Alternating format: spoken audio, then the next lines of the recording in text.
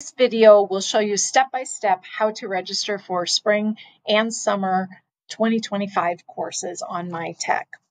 So just a few things for you to know before you get registered for classes is that you need to have all of your holds cleaned up on your account before you can register. That could be a tuition hold, a measles, mumps, rubella vaccination hold that you don't have those on file yet, or a final high school transcript hold, which means that we need your final high school transcript. If you don't have those things, you won't be able to register for the next semester until it's taken care of. Also, you need to have registration clearance from your program advisor, and they will tell you how to obtain that clearance with them.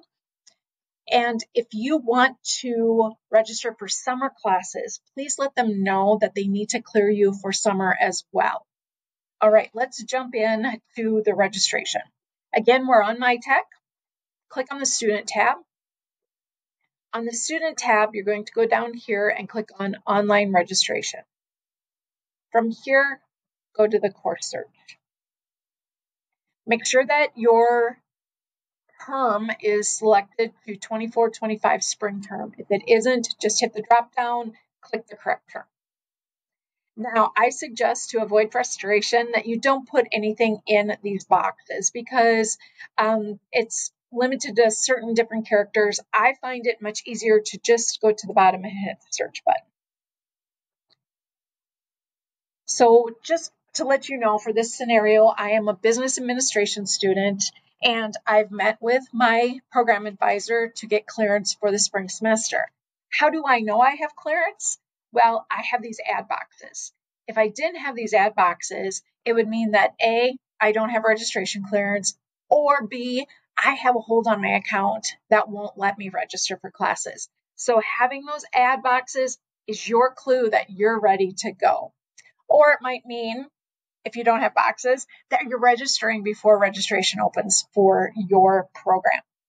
So again, I'm a business administration student. I've worked with my program advisor and I have my list of the classes that they want me to take. The first one I need to take is a business class. And I'm going to go here because there's a BU down there, but nope, I don't see the course that I need on this screen. So I'm going to go to the next one. And it is supervisory management that I'm supposed to take. And I see a couple of options here. This one uh, meets Mondays and Wednesdays, 11 to 12:15, and it shows that it meets for the entire 16 weeks of the semester. And now this one um, says that it meets online. And you know that because there's the O at the end of the course numbers, and then it says over here online. I want to show you another thing while we're on this page is look at customer service here. This one has an AO. Both of these have AOs. So the O we know means online but the A means that it's an accelerated course. It doesn't meet the full 16 weeks of the semester. It meets for only eight weeks. When I look over here, this one meets for the first eight weeks of the semester, and this one meets for the second eight weeks of the semester. So just be careful when you're choosing your classes to know what to look for, if it's an online, an on campus, or if the course begin and end dates are different than the begin date and end date of this semester. All right, so back to supervisory management. I've decided I want to take this business to 10. I'm going to take the one that's on campus Mondays and Wednesdays from 11 to 12:15. Now I just scroll to the bottom and I add the course. And you'll see it was successfully added and down here there's my schedule. I have it taken care of. Now if I decide oh, I don't want to take that class, I want to take a different section or whatever, all you need to do is hit this button here in the drop, drop selected courses, and you can go in and choose something else. So just keep that in mind as well. Now, I know I have to register for a communications requirement, so I'm going to hit my search button again and just repeat that process for registering. And I'm going to look at English let's start here. And I'm going to take English 100 and I am going to take it online. How do I know it's online? Because it has an O here and it says online there. So I'm going to click that, add courses. Again, it says successfully added to the registration record. I go down here and look.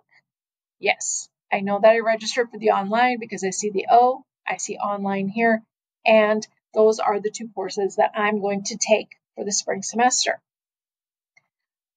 Now, in this scenario, let's say I want to take a summer course. Very easy. You're just going to do the same thing. You're just going to go to the drop down, change that to summer term, and hit search. So here comes the schedule again for summer, but look, I don't have any add boxes. That's because I didn't ask my program advisor to give me clearance for registration for summer. So in this scenario, I will have to contact my program advisor and ask them to give me clearance for the summer term. And then I would just come in here and do the exact same process all over again. If you have any questions about the registration process on MyTech or you're having some difficulties, maybe a warning is coming up that you don't understand, please reach out to Student Success or the registrar's office. We'll be happy to help you.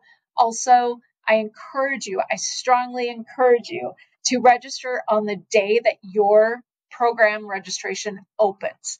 Number one, it will give you the best selection of courses, and also we will have people posted in your buildings to help you with registration that day.